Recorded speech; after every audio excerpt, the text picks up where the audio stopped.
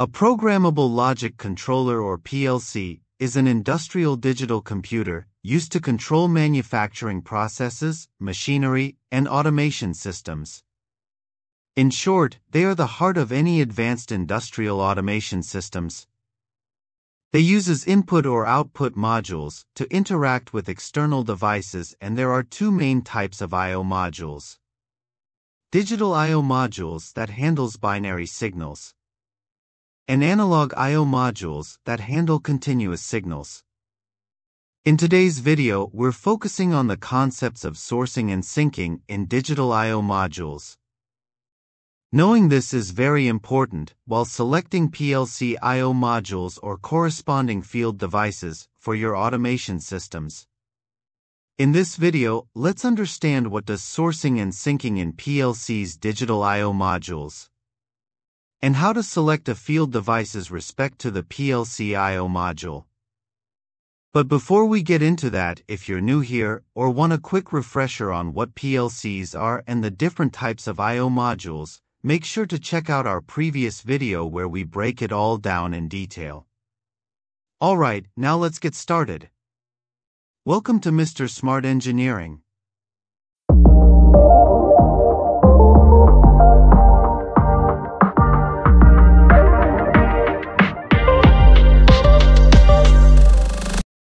Generally, in an electricals or electronics, the point where the voltage origins to create the current flow is called a source.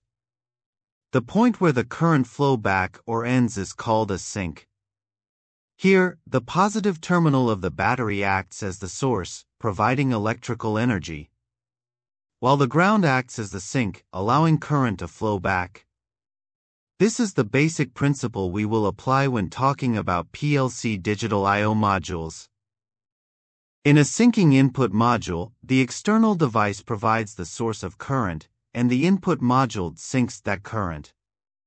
Here the common terminal of the module is connected to the flowback terminal or simply grounded to create current flow. A sinking output module works similarly. The output device, like a light or motor, acts as the source of current, and the output module connects the circuit to ground, completing it. The output module here provides the ground path, hence it's called sinking. On the other hand, a sourcing input module supplies the current to the input device. In this configuration, the input module is the source, and the device, such as a sensor, acts as the sink by connecting to ground. So, the input module here is providing the voltage to the field device. Similarly, a sourcing output module provides current to the connected load, such as a motor or lamp. It sources the voltage, while the output device sinks the current by connecting to the ground. Practically, most of the output devices can work on getting signals from both sinking and sourcing modules. But it's important to remember this rule while selecting your input devices such as sensors. A sourcing type field device must be connected to a sinking I.O. module. A sinking type field device must be connected to a sourcing I.O. module. But why is this important? It's all about completing the circuit correctly.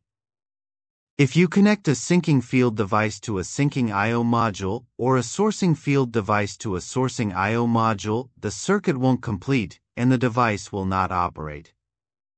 In this scenario, both the module and the field device are trying to supply current, but there is no proper ground path. The result is that the circuit remains open and no current flows, meaning the device won't function as expected. This mismatch can also potentially lead to errors or faults in the system. So it's crucial to make sure the sourcing and sinking configurations are correct. Alright, let's quickly summarize the key points. Source provides current, sink provides the ground path for current to flow. In a sinking I.O. module, the module provides the ground. In a sourcing I.O. module, the module provides the current. A sourcing field device must connect to a sinking I.O. module. A sinking field device must connect to a sourcing I.O. module. Mismatching sourcing and sinking devices with I.O. modules can cause circuit failures. That's it for today's video. Hope this breakdown of sourcing and sinking I.O. modules in PLCs helps you understand the importance of proper connections. Make sure you follow these guidelines in your projects to avoid any issues. If you found this video helpful, give it a thumbs up and don't forget to subscribe for more content. Thank you for watching and see you in the next video.